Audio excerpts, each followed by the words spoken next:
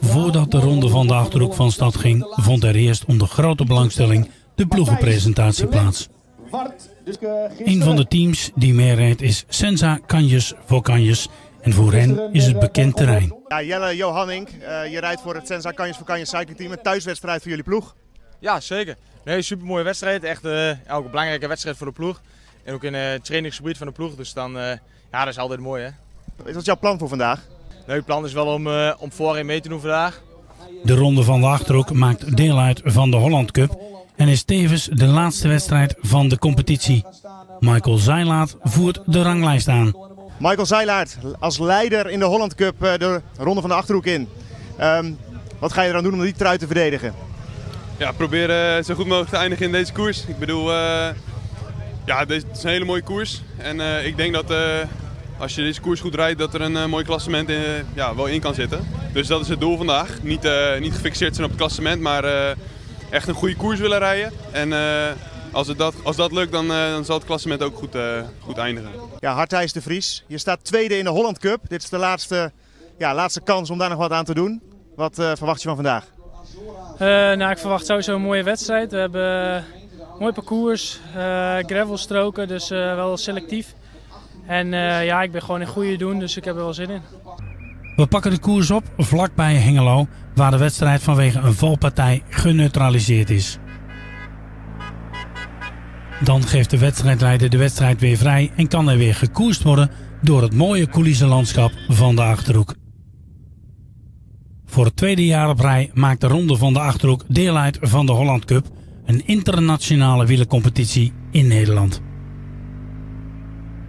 De Ronde van de Achterhoek wordt georganiseerd door stichting Wielerpromotion Gendringen. De ronde staat bekend om zijn vele gravelstroken, 20 in totaal. Met de huidige droogte is dat een ware beproeving voor de renners.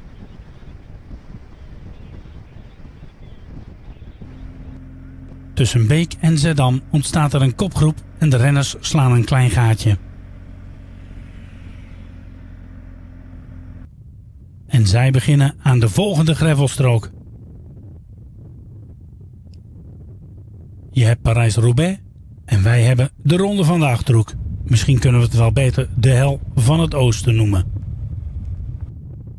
Op de Beeskebult wordt de kopgroep weer ingehaald door het peloton en vindt er een hergroepering plaats. 10 kilometer verder ontsnapt er een nieuwe kopgroep van acht renners en zij slaan een gaatje van 15 seconden. Maar het peloton wil ze niet laten gaan. In de kopgroep zien we ook de leider van de Holland Cup, Michael Zeilaat. Maar het zijn de mannen van Elkhoff Kaspar die aan de kop van het peloton sleuren en de kopgroep niet wil laten gaan. Maar dan maakt de kopgroep een fout en vergeten ze af te slaan. En dat kost kostbare tijd en worden niet veel later opgeslokt door het peloton.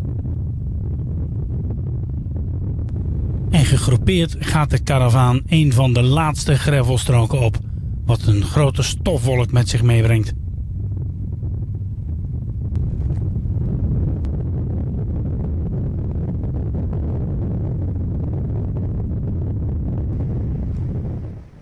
De renners gaan op weg naar Aalten, waar nog vier keer een plaatselijke ronde van 8 kilometer verreden moet worden. Het is Stijn Dane van Beat Cycling die een serieus gaatje heeft geslagen met het peloton en alleen het industrieterrein van Aalten oprijdt.